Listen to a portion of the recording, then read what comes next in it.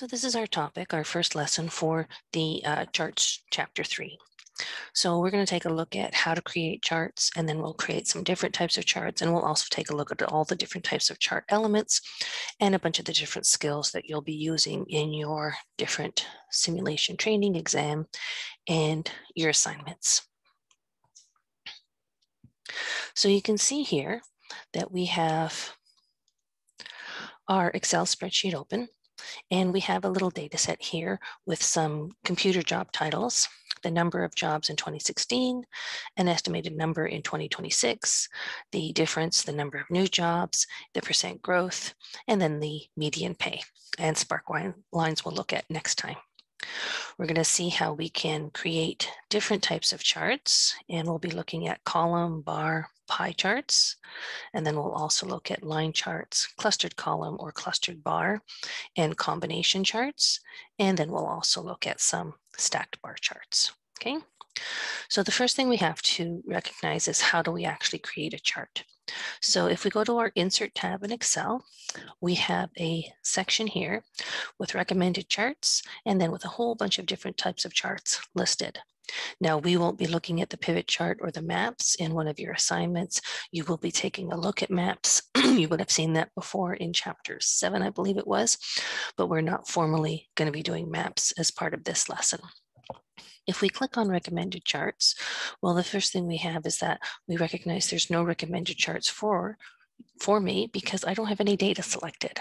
So we have to be careful with that. We do need to select data before we can actually use the recommended charts.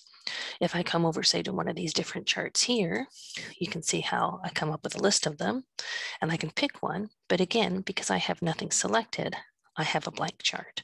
So I'm just going to undo that. So let's select some data and let's select this data here. And now if I go into insert and recommended charts, it's going to come up with a list of different charts that it thinks is reasonable for me. Alternatively, if I come and take a look at, say, a particular type of chart and pick one, it creates a chart automatically for me. I'm going to just undo that. Alternatively, also, if I go to insert and then take a look at the different types of charts here. If I use the little drop down arrow, you can see that I have different types available. Now, if I don't like any of these, then I'm gonna have to say maybe play around a little bit and go into the other different categories that I have here. This is one difference with the Mac computers. Um, under the recommended charts, it doesn't show you all the different types of charts available. So you, you might have to, you know, manually go into the, the different sections. So there's the um, column and bar charts. There's the line, different types of line charts. There's the pie charts, 2D, 3D, and something called a donut.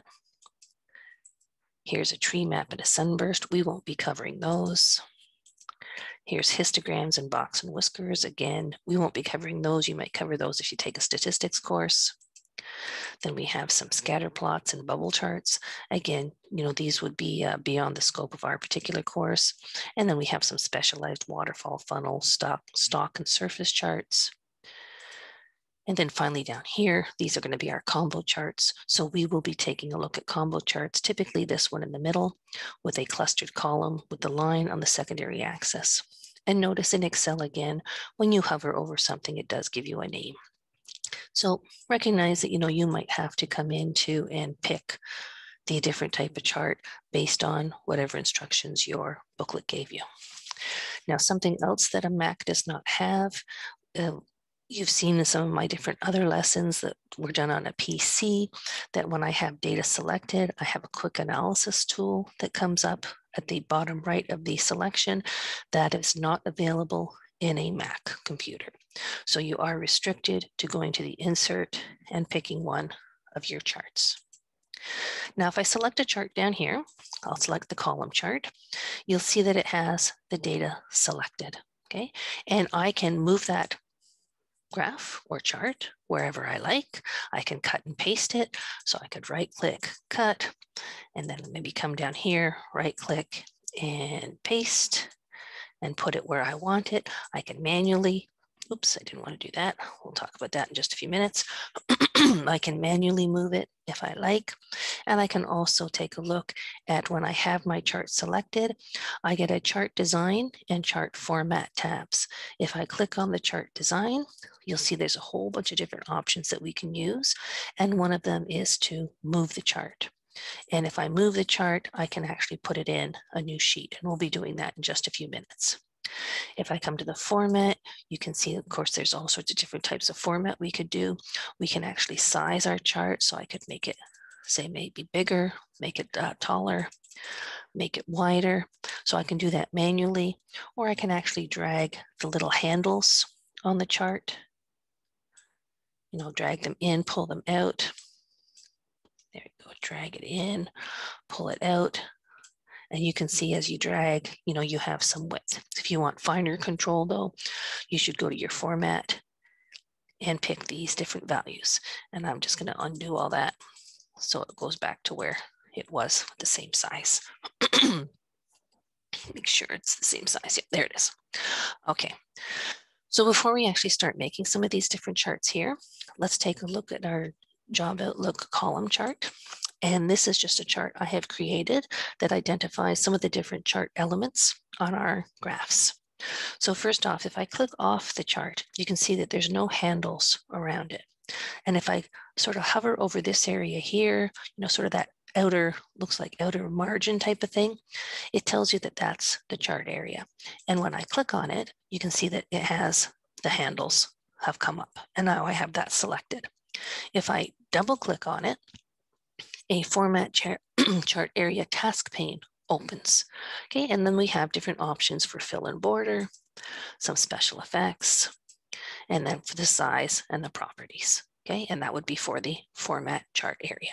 And if I want to get rid of that task pane for formatting, I can just use the X.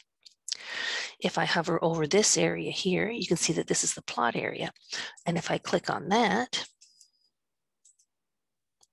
Okay, hang on. Just a little bit different with the Mac here, so give me a second. Let me just escape. There we go. When I click on the plot area, see now I have both the chart area handles and the plot area handles. And if I double click on the plot area, now my plot area formatting task pane opens. And again, I have fill and I have some special effects. Notice, however, that there's fewer icons for the plot area than there was for the chart area.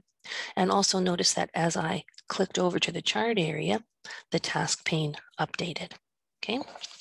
And again, I'm just gonna close that for sizing right now. We have some other areas that we need to be aware of. Here's our chart title. Here's our vertical value axis title. And down here, we have our come down, oops, come down. We have our, sorry, still getting used to this Mac. There's our horizontal category, axis title. Now these titles are text fields. So if I click on one and I come say into the formula bar, I can change this and say, maybe let's just call it count of jobs and press enter and my title has changed. I'm going to undo that just so I keep the same one. I can go to my home tab and I can change the, you know, take the, the bold away if I want, bring the bold back. I can change the font, font color I want. I can change the font size if I want, just like I would normally do. And I'll just put that back to our black. And again, notice how in Mac, when we hover over the different um, color items, you know, the names come up. So here's a red, there's dark red, there's purple, and then, you know, all the different ones that we can pick, okay? You can do the same thing. I'll deselect that now. If I come over to the vertical value axis title, now it's called a value axis title because we have numbers on the scale here. And I could change the formatting for that also. So if I select it, and let's maybe make that bold. And then say for the horizontal, now this is called a category axis title because we have categories of jobs along the bottom here. Again, I can select it and let's maybe make that bold. Something else you might notice too for any of these texts, uh, text boxes, what I'm going to do is I'm going to pick the top one, the chart title again, and I'm going to double click right in the actual title. And you can see that number has been highlighted. I can click again, and you can see my cursor is right in the text box, and I can navigate to the left and the right and add or delete things as I want. Other things for the axes, if I click on one of the titles here, so now I have the horizontal category axis selected. And again, if I double click it, I get the format axis options. And I'm just gonna collapse this for a minute. You can see we have all sorts of different formatting here, our fill in line, our special effects, our alignment, and our different axis options. And we have axis options here. One of the ones we're going to look at later on is categories in reverse order. We can also take a look at tick marks and say that, well, what kind of tick marks do we want? Where do we want them to be? And then we have different labels. We can, you know, distance from the axis. Usually, you know, we leave these as default. And if it happens to be a number, we could do some number formatting. If we click on text options, notice how you get again, like your home tab a little bit. We have text fill, we have text outline. Again, I would recommend as far as this goes, stick with your home tab if you want to change them. So if I come to the home tab and I have my um, horizontal category axis selected. So we'll just have it selected. I'm on my home tab and let's change it just so that we can see something different. Let's change it to red. So, you know, we have full function up here on our home tab as far as formatting text. So you might want to do that instead of going through the format axis text pane. Okay. Um, a few other options here. Let's take a look at the vertical value axis. So again, clicking it selects it, double clicking it opens up the task pane. You can see how we have the uh, value axis currently goes from 0 to 140, but it's not really 0 to 140 because these numbers each are being multiplied by 10,000. Okay, if I come here and I have my format axis with the axis open options window opened, if I come down here and here we have display units, see what happens when I click on no display units. See now we have from zero to 1.4 million. If I bring back those display units, and again, I'll use the uh, 10,000 one. See, we have the 140, and now we have the display units label. Now this is just a little feature. It seems to be a little bit of a quirk. If you are going to be using display units, please make sure you're selecting show display units label on the chart. Because if you don't show it, somebody's not going to be able to read your graph correctly. Okay, so just make sure. Sometimes I find that this selects and deselects seems seemingly at a whim at times.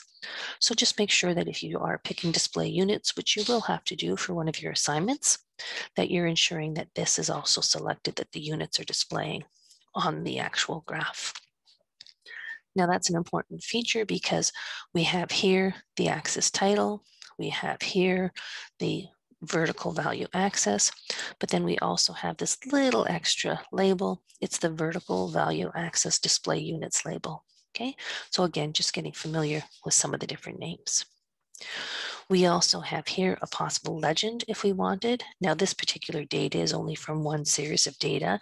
We don't have clustered bars here, so it doesn't really make sense to have a legend, but if we wanted to, we would have it. I'm gonna get rid of my task pane again. Now inside the actual plot area, you can see that we have grid lines. So if I click on one of the grid lines, they're all selected. Double clicking on it, and now we have all of them. And we can format them in whichever way we want. Maybe we want to make a sort of a bit of a dashed line instead. So let's make a long dash so you can see how you can change it. You could change the color, you could put arrows on it. You could even put special effects if you like. also in the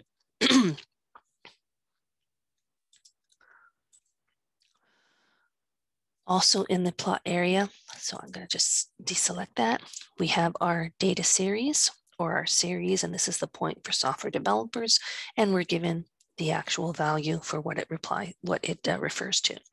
Now, please notice that you see the data label on top says 126 because that scale is matching our vertical value axis scale. The real number is 1.256 or 1,256,200. So recognize that if you do a display units, it's going to impact how your data labels are shown. Now, if I click on one of the actual columns, you can see that I have handles now around all my columns. If I click again on the whatever column, say I, I just want to select one, now you can see there's handles only on that one. And if I double click on that, again, we have the format the data point. And maybe for whatever reason, maybe I want to not change the border. Let's look at the fill. Let's change the solid fill and let's, yeah, let's put it at, at this sort of bright red. So you can see now this has been highlighted. I'm gonna now select my data labels. Same as the columns, when I select one of them, all of them are selected. If I click on that one again, only one is selected and format data label. And I have some different options here for fill and border, special effects, size, alignment, etc. And then some different label options. Now with the label options, we could maybe do some different values here. We'll take a look at that when we look at pie charts. We can change the position of it, put it in the center, inside end, inside base, outside end, and we have some different sort of formatting features here. so we've taken a, a, quick look at what we call the chart elements. Now with my chart selected, if I'm in the chart design tab, you'll see on the far left-hand side here, we have add chart element. And if I click the drop down arrow, you can see how we can add axes, primary, horizontal, and vertical. They're both chosen. And if I click on the more, the chart, the task pane opens. I'll come back to that, add chart element. There's our chart title. We could have none. Again, if we click on more, we'll get the um, task pane open. For my data labels, this is an interesting feature. Um, it actually has a, an additional option as far as you know where to put it. So we could put the center again. I can bring it back. Data labels, pick one of the other ones, and let's go uh, outside end put it back, but then also let's come back to data labels and put data callout. Okay.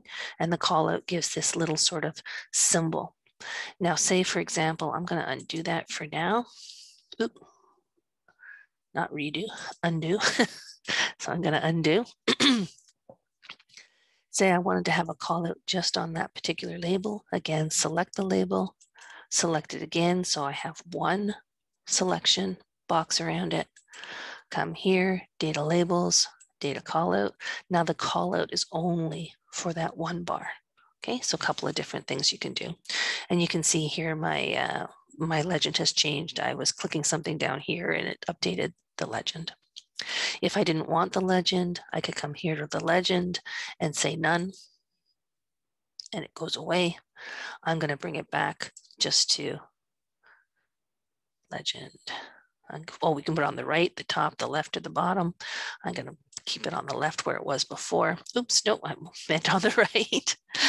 on the right, there it is. Okay, just so it stays the same. Uh, what else was I going to show you on this? Okay, let's take a look also here. Uh, for the grid lines. Now we currently only have the primary major horizontal. You can see the check mark beside it. But if I wanted the primary minor horizontal, I could select that. And now we have lines in between. I can come here again, go to grid lines, and I could put the major vertical on it. So now I have vertical lines, okay? And if I wanna get rid of these, let's go to the grid lines, let's go to grid line options. So the task pane opens. So we can see there's the line, that's for the style of the line. Here's the uh, side effects or uh, sorry, special effects. Um, notice though that we don't have an option for what type of grid lines to put on or not put on. So even if I collapse that, there's no other option. So I'd have to come here to my grid lines and deselect my major verticals so they're gone. Come back, grid lines, deselect my minor horizontal so those are gone. Okay, so just be aware that, you know, with a Mac, um, most of the stuff is, is all there. You just have to maybe look for it in slightly different ways. Okay. All right, so that's a, a, brief overview of the different chart elements. And again, you need your chart selected. You need to be on the chart design tab.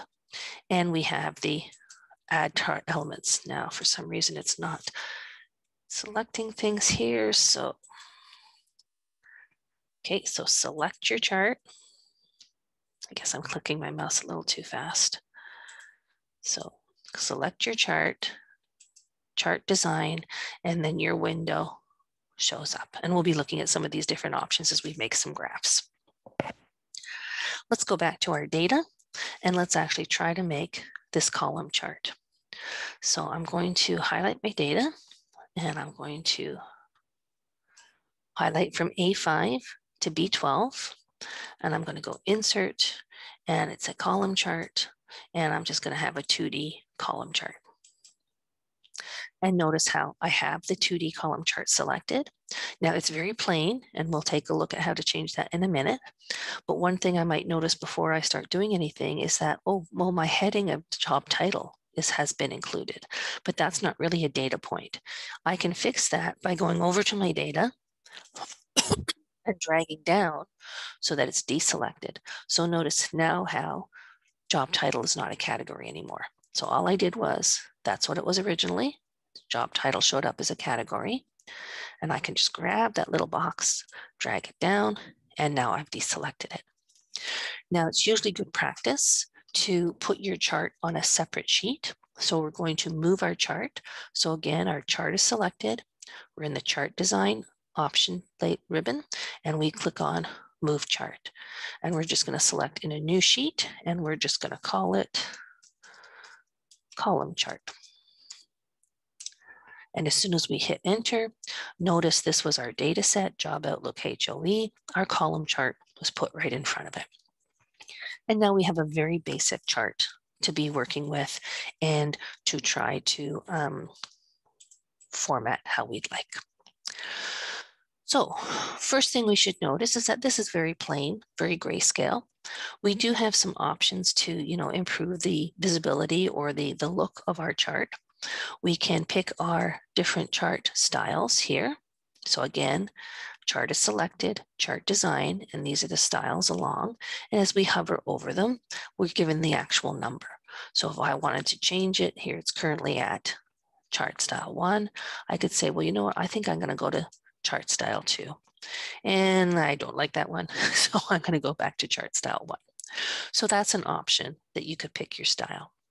If I wanted to make it a little bit more colorful, I could come here to my change colors. And right now it's on a colorful palette and the name of the palette is colorful palette one, but it is very dull. I could go to the next one, pick that one. Well, it didn't really change anything. Let's maybe try another one. Let's click that one. Oh, and it changed the bars to yellow, the columns to yellow. Notice in changing the columns to yellow though, it also changed the styles to match that color. Say for example, if I came down here and went to the next one, well now we're at pink and let's maybe do a monochromatic one. Let's pick say the blue one here. And again, that's monochromatic palette five. So there's a blue one.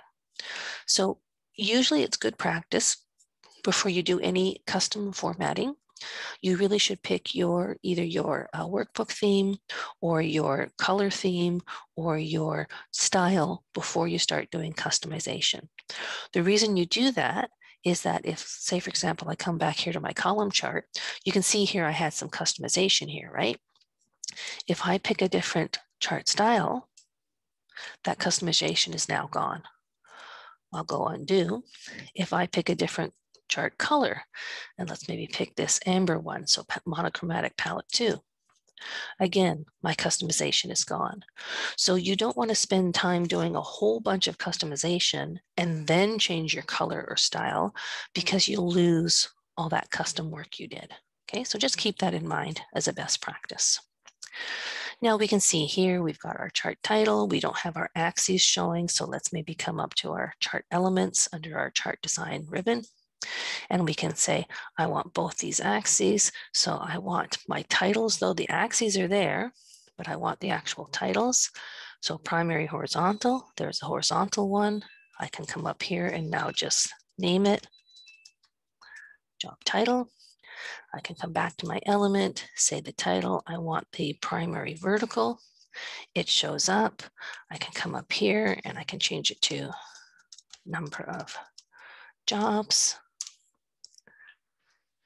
Let's do a few other things. Um, let's maybe change the font of these. So there's my number of jobs. I'll go to my home tab and I'm gonna make it bold and make it 12 font to try and increase the visibility, the readability of my graph. And again, we'll do the same thing for the horizontal axis, bold and top and 12 font. Let's take a look. Let's again say maybe we want to highlight this particular data point. So we'll select our bar, select our column again, double click it. Now we have our options. I'll mm. come over here to the little fill. Let's put a solid fill in it. And I don't want ugly red this time around because it clashes with the blue. So let's maybe make it, let's maybe make it dark green. Okay, maybe not the best color, but just to show you how you can change it. Let's do the same thing then. Let's leave our task pane open because we'll most likely need it again. Let's do some things with the data labels and let's maybe pick this data label and we want to pick it again. So I sing, I select all the labels and I select this one again to open it up. We have our label options and text options here. Now this is where, you know, as I mentioned before, we don't have a, what do you call it, call out as a list here for label position. So I could come over here to my add chart element data labels, and let's put a call out for this one. Now, excuse me, once I have it selected, you can see how in the call out, it has the category name there. And if I don't want the name in the task pane, I can just deselect it and now I'm back to the number. And again, if I wanted to highlight that a little bit, I could go to my home tab, maybe make that 12 font and maybe make that bold just to try and make it highlighted a little bit so you can see how it sort of pops for the viewer. Let's take a look at um, doing some maybe customization to the chart area. So I'll click on the chart area. My chart area task pane opens. Remember, if I double click on it, and we're going to put, say, let's put a texture fill on this. And we're not going to pick that one. We're going to pick a different one. Let's pick maybe this what is it, blue tissue paper. Yeah, let's pick the blue tissue paper one. And you can see now we have this sort of light blue tissue paper around it. I can say, okay, well, that's nice, but I'd like my plot area to pop a little bit better. So I'm going to click on my plot area now. And oh, there's my plot area. And let's maybe use a gradient fill for that. And the gradient fill, let's come to our presets and let's maybe use this one, which is light gradient accent five. So we'll pick it. And now you can see how the chart area is like the background has this blue tissue paper and the plot area has this gradient. Gradient meaning it's lighter on one side and darker on the other. So, you know, maybe I, I like that for my graph. Let's take a look at the vertical axis value. So we'll select it. My task pane opens. Let's change the bounds. Let's maybe say, okay, you know, Excel does a good job of sizing my columns within my plot area. Maybe I want my columns to go a little bit higher. So I'm going to change this maximum bound here. I'm going to get rid of the four and make it 1.3 exponent six. So that's 1.3 times 10 to the six. And when I hit enter, you can see how now the top value is 1.3 million and my bar goes almost to the top. Now I'm just going to click on the reset arrow because I sort of like how Excel did it to start with. I could change the minimum if I wanted to. I can change the major units and the minor units. Currently the major units are 200,000. I could change that to 250. Press enter, and now you can see we're going 250, 500, 750, etc. And again, if I don't like that, I can have Excel go back to reset it to what it thinks are the best values. We could um, change the scale if we wanted to. We could put our values in reverse order. Let's see what happens if we select that. So values in reverse order. Well, it sort of makes it now like a hanging chart.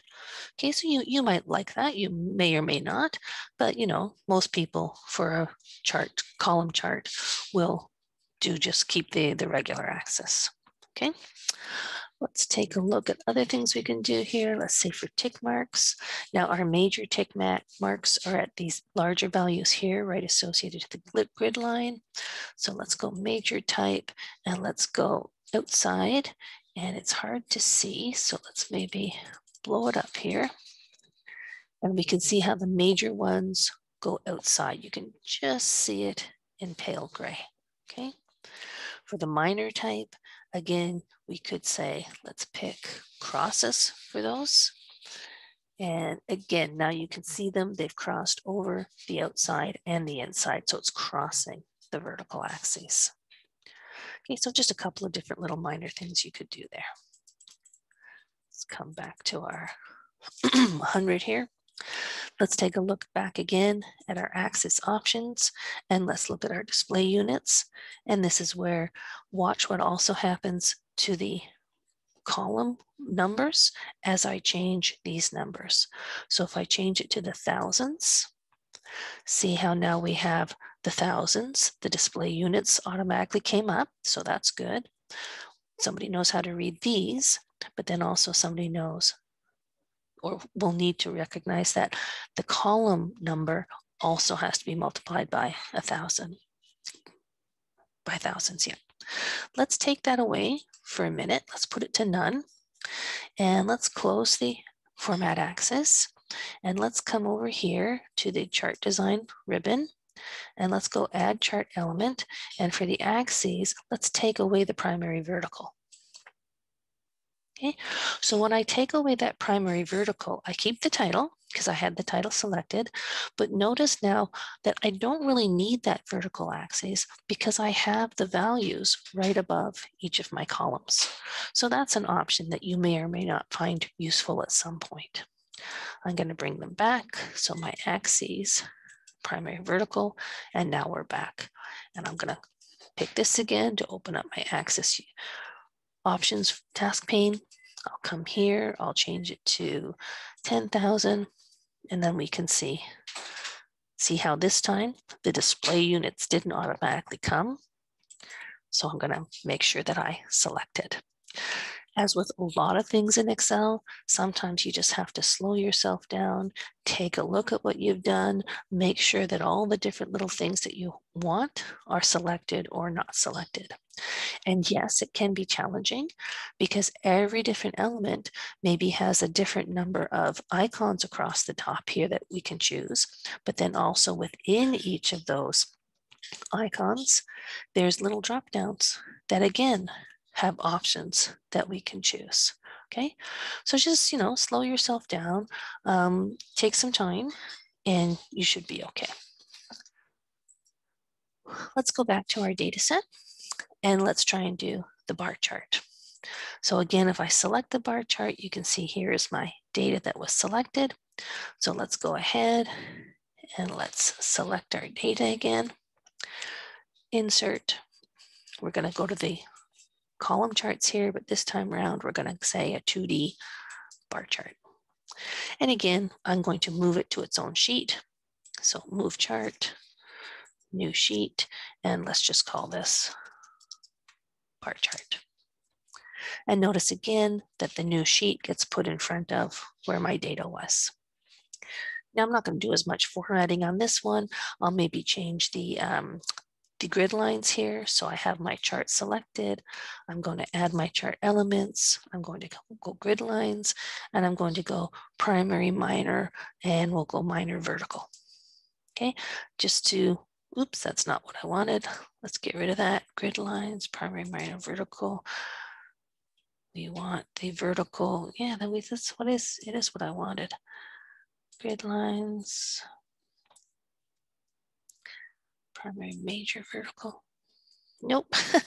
this is one of the frustrating things that I find with the um, with the Mac um, in PCs, you have this little sort of, when you select a, um, a chart, you get these three little buttons on the right hand side that bring these menu brings these chart element menus to you a little more quickly. Unfortunately, Mac doesn't have that, so we maybe stumble a little bit more. So I don't want the vertical, so let's get rid of those. I'm trying to get the minor horizontal. So we've got the minor horizontal here. So no, that's not what I want. So let's get rid of the minor horizontal. Let's come here. Oh, this, I think I finally figured out what I wanted. I want the minor vertical there. That's the ones I wanted to try to be able to read the, the bars a little bit better. Okay. Now, in this case here, I would definitely be selecting my bars and adding my data labels. So again, I can just select my chart, bring my data labels and I can put them on the outside end. Now somebody doesn't have to worry about reading the actual values down here. Now I do want to show you something here. So let's make sure the whole graph shows. If we choose our vertical category axis, double click it. Remember we had seen under axis options, categories in reverse order. Now notice first, the network system administrators are at the top. And if I click it, the categories in reverse order, well now they're at the bottom. But notice something else. Before I selected it, so there they are at the top again, and my value axis is along the bottom. When I do the categories in reverse order, well, yes, now it's at the bottom, the network system administrators, but now my numerical or value axis is along the top. Okay, so just recognize that sometimes these things do switch around a little bit. Okay, so let's just deselect that so it stays the same. Let's move on again now to, let me get rid of the task pane, to the pie chart. So the pie chart, again, you can see how it's selected. It also has that job title category that I really shouldn't have. So again, I could alter it by dragging that down. Alternatively, I'm gonna bring it back up. If we have our chart selected and we go into our chart design tab, we have a select data icon we can pick the select data icon and we can see here, oh, I didn't really want row five, I wanted row six. So I can delete that, put in six, go okay. And now that's another way you can select and deselect data. So let's go ahead, select our data and let's create a pie chart. So insert pie chart, 2D pie chart. We'll put that in its own sheet We'll move the chart, select new sheet, sheet, and we'll go pie chart. Oops, but we'll spell it right. And we're in our own sheet again. Now, when I go to the add chart elements here, you'll notice that many of them are grayed out because pie charts don't have axis labels. They just have the pie, they have the title, they have the data labels if we want it, and it has the legend. Let's take a look at the legend first, and let's put the legend on the right. So it moves over here to the right. Let's move the red legend to the top. Now it's up top. Let's move the legend to the left. And then we can put it back on the bottom. I think I'll leave it on the left for right now. Now, one of the problems with legends with pie charts is that they're very tiny as far as the little squares that are used here to line up with the different pieces of the pie. If I hover over the different pieces of the pie, I can see what they are. So this gray one is the computer network architects, and that matches up to this first one here. The next one is the software developers, and then the info security, etc. But if it's difficult for us to read, it most likely will be difficult for our users to read. So one of the common options with pie charts is to have no legend. Okay, makes the pie a little bit bigger, but now in order to make it readable, what we should be actually adding are data labels. And we'll go outside end. And let's double click our data labels, data labels So our task pane opens. We can see that we currently have under the label options, this last little sort of bar area, we have the value showing. We have a leader line. There's really no leader line, but we can also put category name. So now I have the name and the value. If I wanted to put a percentage, because again, with pie charts, we typically very often like to compare percentages, we can add the percent. We can put the best fit on it if we like, or we can keep it where we had it before, the outside end. I'm going to collapse the label options for a minute. I'm going to go into the numbers. Now I could come here and pick a category. So sorry, I meant to bring it up here. I could make it a number and I could say, let's keep it at two decimal places. But notice when I did that, what happened? Well, it didn't impact the number, but it did impact the percentage. So this is something that if you are going to be putting percentages in addition to the number, so remember value and percentage we had select, make sure you just leave it as general so that you don't change the formatting. If you change the formatting for one, you're changing it for all of them.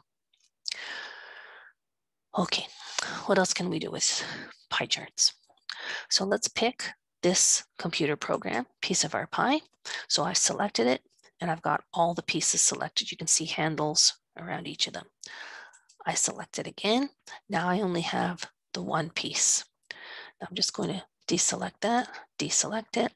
I'm going to double click my pie. All of them are selected, format data series. I'll click that one piece again, format data point. So again, watch out, slow yourself down, notice the different names. Now see what happens. I can drag that piece of the pie. I can't move it up or down, but I can drag it in and out. And I might want to drag it out to highlight it in some way. When we drag it out, that is called a point explosion in Excel. And we can, you know, alter the percentage by just manually moving it. Or I can come here and pick an actual percentage that I like, and maybe 25% is what I prefer. So now I close my task pane, you can see that now that piece of the pie is highlighted. And just like with our other charts, we can select all the labels, select one of the labels, and we're gonna come to our chart design, add chart element, data label, and maybe we wanna put a call out on that, okay? And when I do the call out, notice how I've lost now the actual number. So this is again, you know, different little quirks of Excel. Doing one thing gives you something maybe you want, altering it to something else, maybe changes and takes away what you had wanted to keep. That's why you want to keep your little favorite button, undo, bring it back to where it was before. Okay, let's go over to this sheet now, the pie sheet. And we have a small data set here, and it has a series of uh, um, numbers of the different fruits that were sold in the first quarter of the year, January, February, March. And maybe I'd like a pie chart for all of these together. So I select all my data. I come up to insert, I go pie chart and I pick my 2D pie chart. And what it does is that it's only picking the January results. It's not picking all of them. And notice how with my chart selected, you can see what has actually been selected. So that's not what we want to do. So let's undo it and let's pick just the fruit and the January. Let's go back to insert, pie chart, 2D pie chart. And again, now we can see that's just our January data and I'll drag it down here.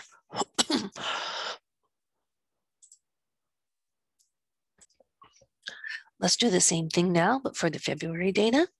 So let's select the fruit. Let's hit our command button on our Mac and select the February and the numbers. So remember, we have to do that command in order to select non-adjacent cells. Insert, pie chart, pie chart, and now we have the February. Let's try and do the March, but I'm going to do something different this time around. I'm going to highlight just the fruit names, command, and then the March. And now I'm going to go insert, pie chart, 2D pie chart. And notice how it didn't quite work out the same way. Okay, so I have this selected, but it looks like there's no graph there. So just delete it. So let's delete that graph. Let's say, okay, well, what did I do for the previous ones? Oh, I highlighted B4 to B8. Then I went Command E4 to E8. And I can go Insert, and I can go Pie Chart and Pie. And now I get the month as the chart title. So just be aware that, you know, um, when you're doing charts, a lot of Excel, even outside of charts, is basically trial and error playing. Does something work? Try it out.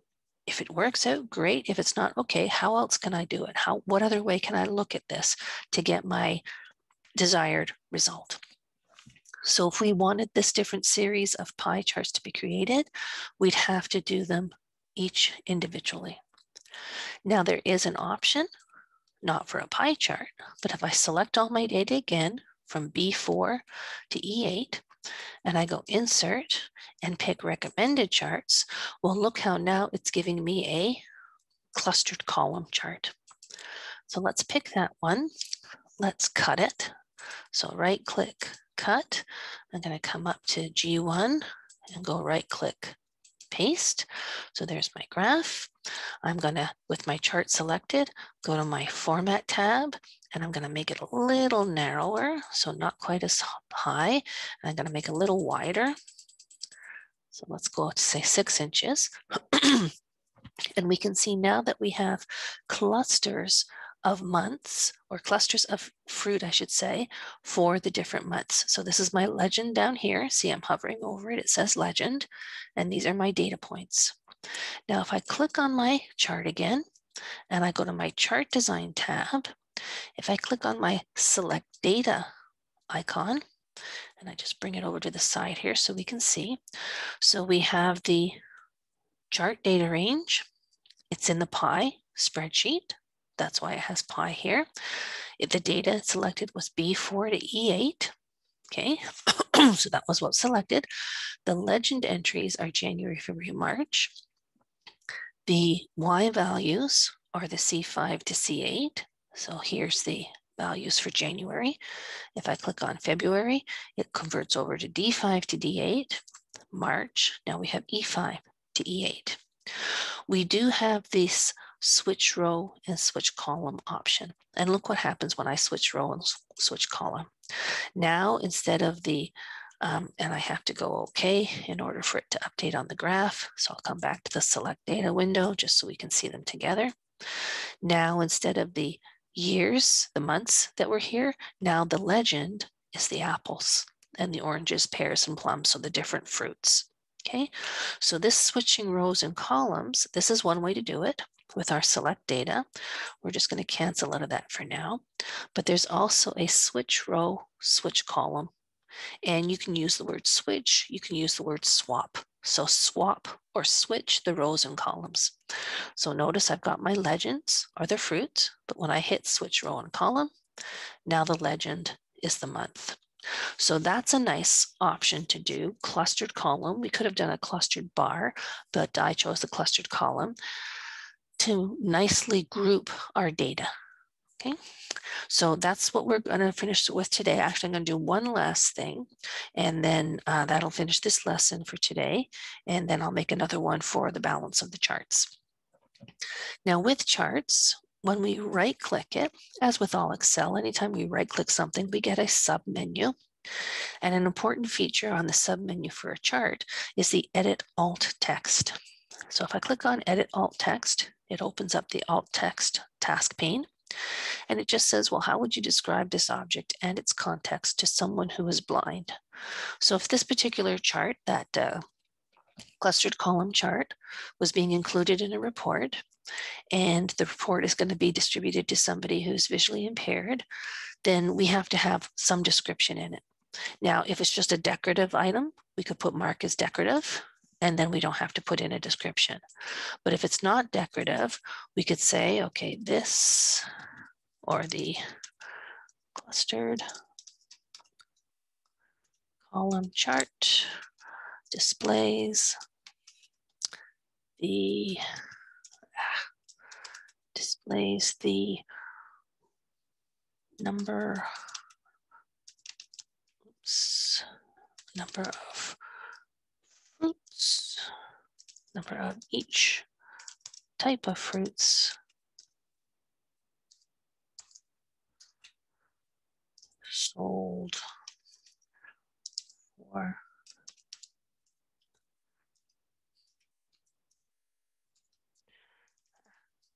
and January, February, and March, and include the period. Okay. And if I close that task pane, I might think, well, is it still there or not? I can right click, edit alt text, and everything I entered is still there. There's no requirement to put enter. Um, as far as your assignments go, don't hit enter because if you hit enter while you're in the alt, alt text window, it's adding another line and the MyLab system will mark that as incorrect because it didn't say add another line. It's just come back to it and finish at the period, close the task pane. All right. So that's it for this part of the lesson.